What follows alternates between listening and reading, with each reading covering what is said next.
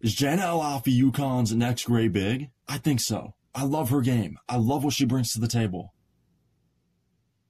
Good screen and roll operator. Good rebounder. Great at getting position in the low post and operating. She's efficient. She's consistent. That's what UConn needs inside. You look at these recent UConn teams, their weakness has always been the post. Jana can help fix that. She's a star in the making. So excited to see her on the floor for UConn for the first time this season.